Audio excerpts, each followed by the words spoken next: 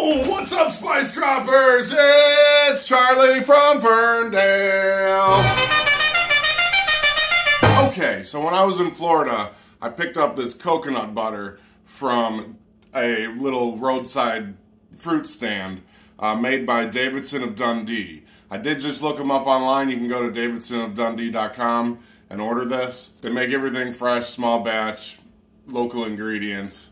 Anyway, so I picked up this coconut butter thinking, you know, I could make something like a, uh, some kind of appetizer or something, a dessert, something that kind of resembled the flavor of a pina colada. And today we're gonna make tropical fruit bruschetta. Let's get cooking!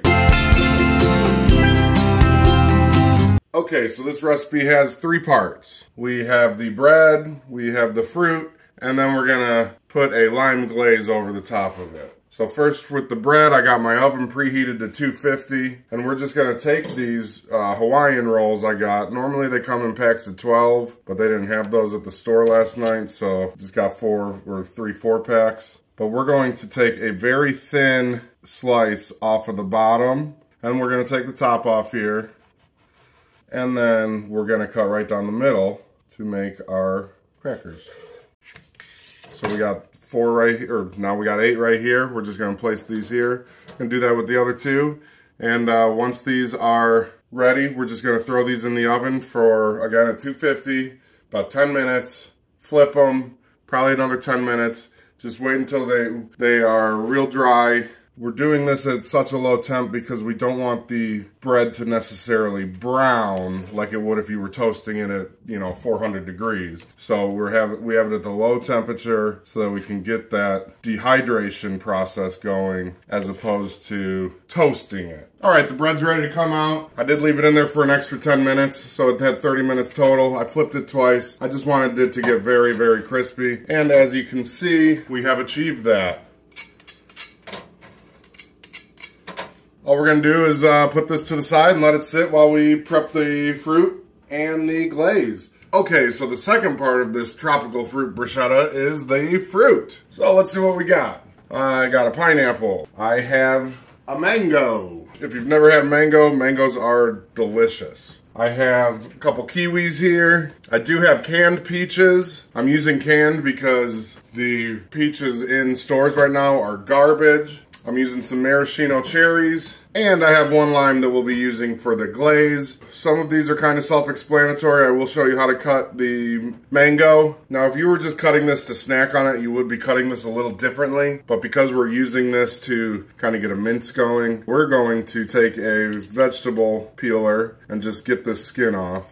And now that we got all the skin off, we're going to cut the cheeks off of this. Now this thing has two broader sides and then two skinny sides. So we're gonna kind of cut kind of down the side of the middle to avoid the, the pit. And when you're cutting down, you'll be able to feel the pit if you are too close because you won't really be able to cut through it. And then you just back up a little bit and keep going down. Now these, this is the main flesh of these things. And again, this side Okay, so we're going to use these two cheeks, and I'm going to even slice them down this way to make them thinner. We don't want huge pieces of the fruit on these crackers. And then just real thin slices Oh man, it's I just ate a little bit of this. It's already so good. It's nice and juicy, so it is moving around on me a little bit. Okay, throw this in our fruit bowl. And we're gonna cut these down and throw them in there as well. Now, as far as the other fruit, mix that up. We can start to build everything and talk about that glaze. Okay, the fruit is chopped. In here I have that one mango. I did a quarter of the pineapple. The peaches were canned, but I'm guessing I did about two peaches, two kiwis, and about a dozen maraschino cherries. Now, I do know that I probably made too much, but that's perfect because this is going to be an amazing fruit salad too. Uh, so I'm going to pour this into a colander strainer you can use and just get some of that juice out because I don't want that to make the bread soggy. So while this is straining out, we can get to making that super simple lime glaze. For this super simple lime glaze, I have one cup of confectioner's sugar, powdered sugar. I have two teaspoons of milk, and I have the juice of one lime, comes out to about a little more than two tablespoons of lime juice. strained because you don't want to get the pulp in there. And then you're going to save the rind too because we're going to make a zest out of that. If you don't want to use milk, you can use juice of two limes in this. And you want to be very careful when you're adding all these because it can get to be too liquidy very quickly. But we're going to throw in about half of this lime juice, a little more than half. And then we're going to throw in these two tablespoons of milk and just whisk this and it does take a minute, uh, but you will see that glaze start to form. And then if you need to add more liquid, you can. That's why I saved a little of this lime juice so I can add it later. Uh, or we could add more milk as well. But I'm going to add the rest of this lime juice too. Because I'm going to pipe this out onto the bruschetta. So I just want to make sure that it is. Oh yes, that's perfect. Now, you could use a piping bag. I don't have one. So I'm just going to grab a handy dandy sandwich bag. We're going to pour this in there. And now when we're ready, we can just snip this little corner and use that just like a piping bag. We've done the bread, we've done the fruit, and we've done the glaze. So let's build this and try it. Okay, so we got these wonderfully toasted Hawaiian rolls. Now I'm going to take this coconut butter and start spreading it on there. And this stuff's a lot thicker than I expected, so I'm glad I really toasted these because this is thick and gooey and Smells amazing. Now while I'm doing this, if you don't have coconut butter, like I said, you can go online and order this. But you could also use really any kind of jam or jelly or fruit butter, maybe like a mango chutney. If you're not using the coconut, because I think the coconut flavor on this is gonna be great, I would uh, probably throw some coconut flakes into the fruit mixture if you don't have the coconut butter. But you could really do this with any kind of fruit flavor. You could do strawberries, blueberries, raspberries, you know, basically a fruit salad on toast.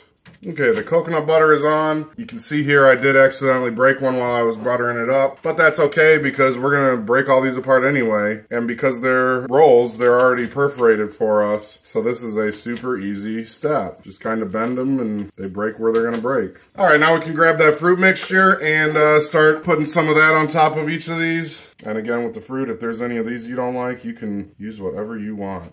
Now we're gonna do the glaze. i got it in this sandwich bag. I'm just gonna smush it out of this corner.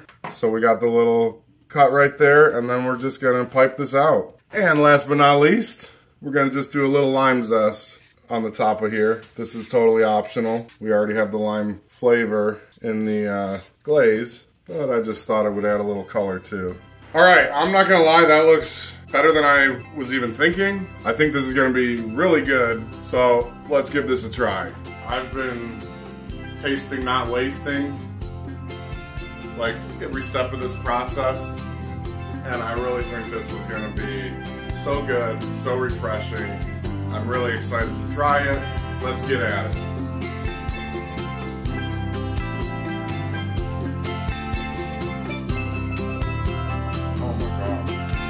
Different too. I wanted something different. I know there's barbecues and stuff coming up, and I guarantee if you bring this, they will not be talking about your neighbor's potato salad. They will be talking about this. So spice droppers. Oh! Mmm, I love. I love you. It's almost summer. Let's get it, baby.